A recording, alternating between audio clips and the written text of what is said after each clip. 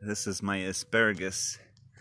It's about time to make a meal out of this stuff. It's five foot tall, some of it. Nice and thick. It's a meal there. I'm gonna eat it. Yeah.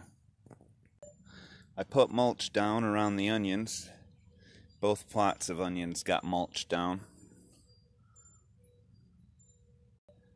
See, there's onions, more onions and mulch. Of course, our seedlings, that's what happens when you leave a seedling in the dark too long, they grow too long. Yeah, those are gourds. These are my summer squash, and those are zucchinis, or uh, watermelons. A little peek what we got going on out here now.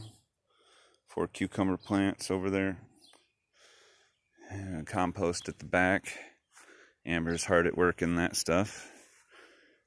And in the back there, yeah, gonna be a hangout. We'll show you that later. Here's another plot in the garden.